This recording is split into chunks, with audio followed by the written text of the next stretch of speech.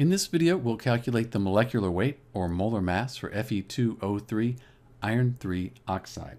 First thing we need to do is write down the molecular weight of each element here in this compound. So we know iron on the periodic table is 55.85, and that's grams per mole. I won't write that here. And then oxygen is 15.999 grams per mole. We're going to call it 16.00 grams per mole.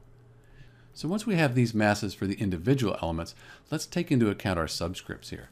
So I have 55.85, and then this 2 here, I need to multiply this number by the 2, that subscript there. So I multiply that by 2, and then I'll add to that oxygen, which is 16.00, and here again, the subscript 3, we need to multiply that by 3.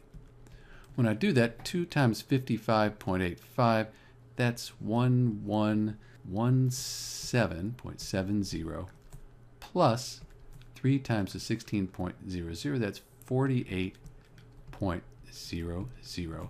And if I add those up, I get 159.70. And here's where you put your grams per moles in, grams per moles. And that is the molecular weight or molar mass for Fe2O3 iron 3 oxide. This is Dr. B, and thanks for watching.